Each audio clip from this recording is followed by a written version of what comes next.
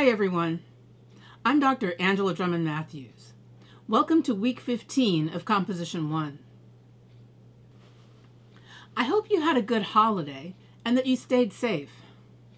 Last week, you brainstormed for a topic and completed your research plan. This week, you'll write your argument essay. You'll complete an outline using the classical argument format, the introduction, narration, confirmation, refutation, rebuttal, and conclusion. Then you'll write your rough draft. Turn in your draft, then peer edit with your group members using your group tools. Make your revisions, then turn in your final draft on Sunday by 11:59 p.m. Let's review how to write a classical argument. It starts with an introduction, as in all essays. Next is the narration, in which you explain the background information necessary to your argument. Sometimes this is combined with the introduction. In the next section, you make your claim or proposition and back it up with your proofs and evidence in your confirmation.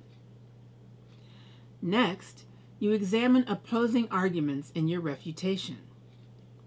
Give some concessions to show that you understand where your opposition is coming from but then refute the opposition by explaining the contexts and conditions that make your position valid.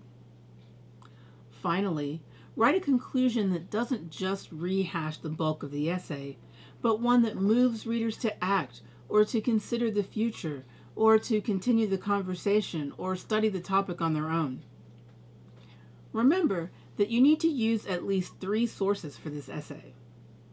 Use at least two sources to help you prove your point. One source to exemplify the opposing argument. Then you can use your previous sources or a new source to help you refute the opposing argument. Cite your sources using MLA style. Be sure to use in-text citations and a properly formatted works cited page. If you have any questions, remember you can email me at any time. I'll also be available for our optional class discussion on Friday. See Blackboard for times. That's all for now. I hope you enjoy working on your essay. Work hard and stay safe. Bye-bye.